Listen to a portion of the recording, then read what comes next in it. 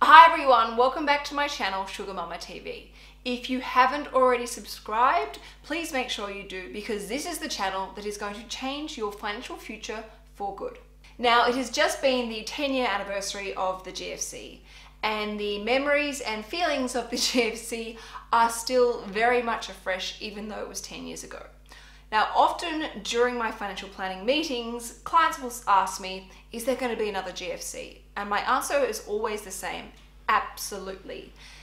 There will be other forms of economic crises, terrorist attacks, healthcare crises, political disasters, environmental disasters, they will all continuously happen year after year. They will just come in with different levels of severity and in different disguises. But there are some very sim big similarities and characteristics that we can look out for. And most importantly, there are some really important lessons that we can learn from looking back in history so that when these crises do happen, the financial damage is limited and it can be quickly fixed and we can quickly get back on our path of wealth creation or potentially even use it as an opportunity to capitalize on and potentially leverage our financial opportunities further. But the point is, we must be wise, we must be sensible, and we must be informed and aware of what we're doing. So in this video, I'm sharing with you the lessons that we need to have learned going forward if we want to be sensible, wise investors from previous economic crises.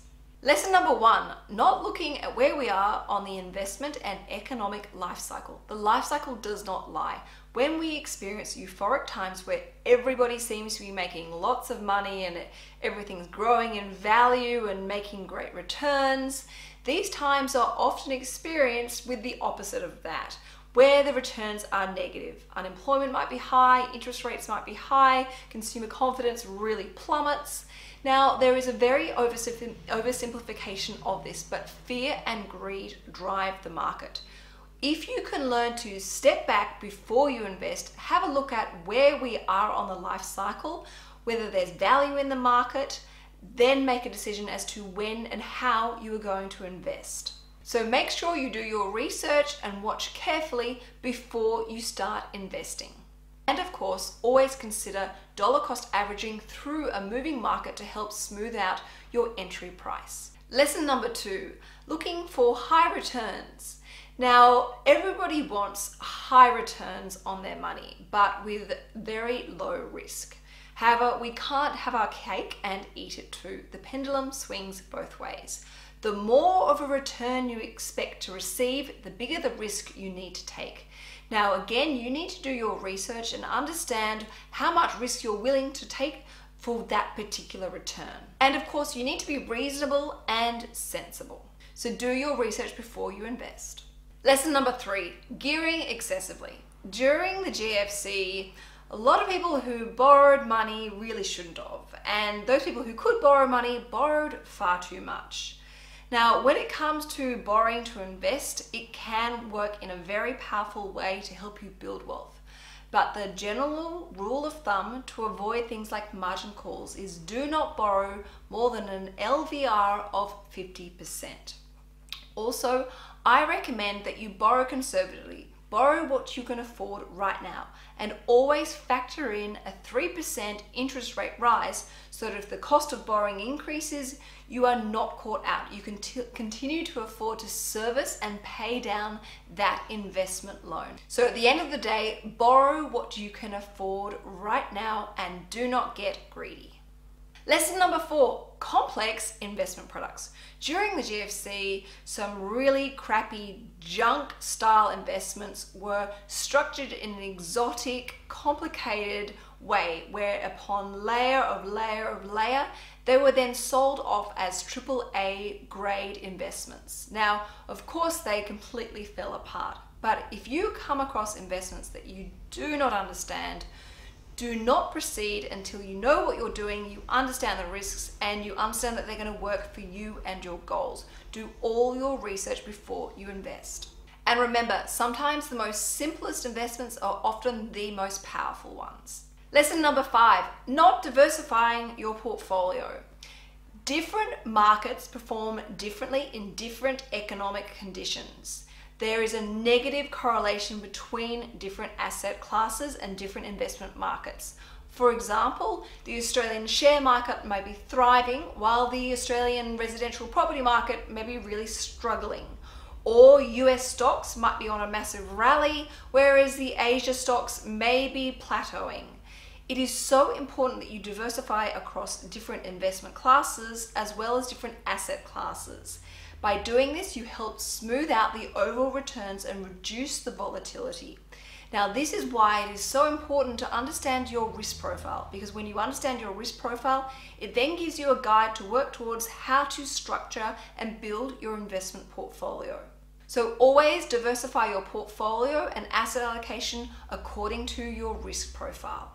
Lesson number six hitting the panic button when an economic crisis happens.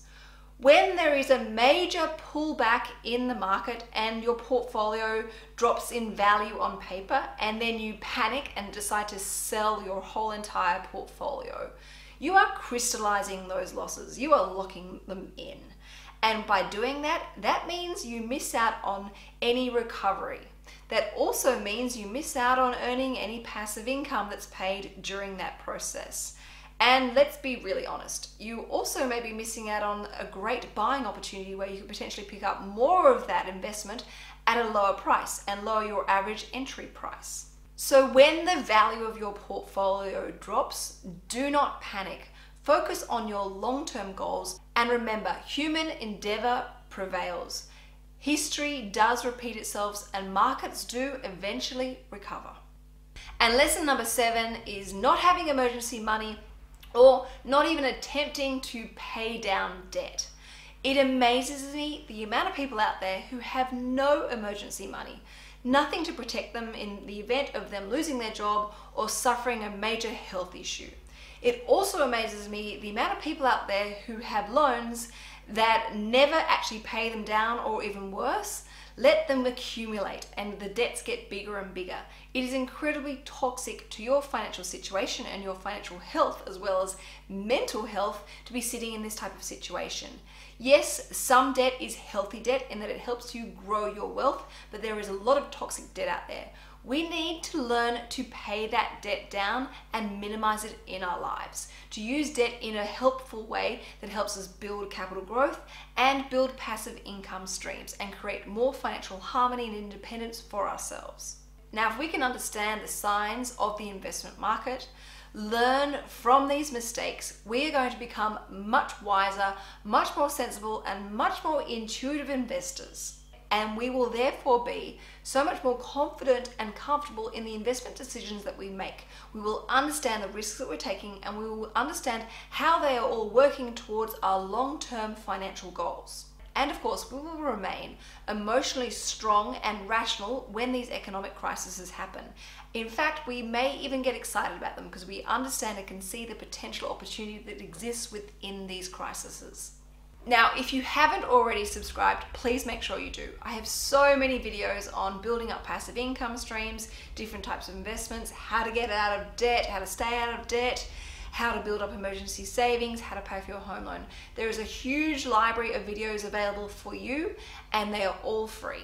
And of course, please feel free to share any of these videos with family and friends that you think will benefit from these and I will see you later in the week for either Lifestyle Love or for the following Monday for another financial video for you, Money Monday.